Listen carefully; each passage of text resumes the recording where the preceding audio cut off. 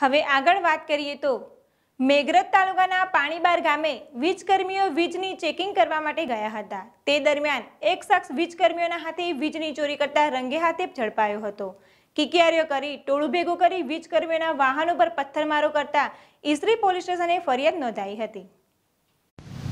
મેઘરજ વીજ વિભાગ બેની કચેરીના કર્મીઓ તથા માલપુર વીજ વિભાગના કર્મીઓ તેમના તાબા હેઠળના ગામોમાં વીજ કનેક્શનોની ચેકિંગ અર્થે ગયા હતા, જેમાં સાંજે છ વાગ્યાની આસપાસ નવા પાણીબાર ખાતે કર્મીઓએ પ્રકાશ ગામિતી નામના શખ્સને રંગે હાથે વીજ ચોરી કરતા ઝડપી પાડ્યો હતો, જેમાં પ્રકાશ ગામિતી વીજ ચોરીમાં ઝડપાઈ જતા કિકિયારીઓ કરી પચાસ માણસોનું ટોળું ભેગું કરી વીજકર્મીઓ સાથે માથાકૂટ કરી હાથમાં પથ્થરો લેતા વીજકર્મીઓ પોતાના વાહનો લઈ નીકળ્યા હતા, તેવામાં વીજકર્મીના વાહનો પર પથ્થરમારો થતા મેઘરજ વીજકર્મીઓના વાહનના કાચ તૂટ્યા હતા, પરંતુ કોઈ કર્મીને ઈજા પહોંચી ન હતી. જે ઘટના અંગે જુનિયર એન્જિનિયર એસવી સુથારે ઈસરી પોલીસમાં આરોપી ગામિતી પ્રકાશ મકના અને ડામોર જયદીપભાઈએ બે શખ્સો સામે ફરિયાદ નોંધાવી હતી.